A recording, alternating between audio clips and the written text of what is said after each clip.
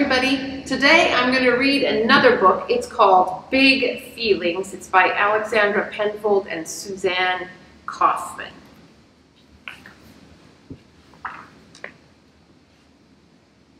It's time to play. Big plans today. But some things, sometimes things get in the way. Feeling bold, feeling mad. Goodbye happy, hello sad. I have big feelings, you have them too. How can I help? What can we do? Talk it out, talk it through. I am sorry.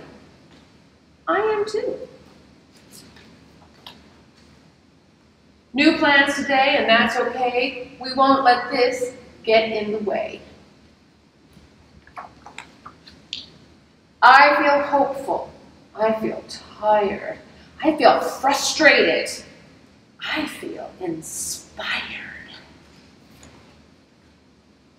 I have big feelings. You have them too. How can I help? What can we do? Work together. Build a crew begin again, start anew. Oops. I feel excited. I feel scared. I feel nervous. I feel prepared.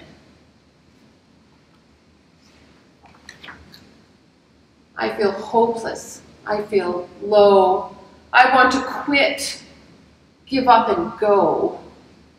Guess it's because of the rain. We all have big feelings, both me and you. How can we help? What can we do? See another point of view? Look at that. Now they're swimming in all the water that rain made. This is our world. This is our home. Whatever we're feeling, we're never alone.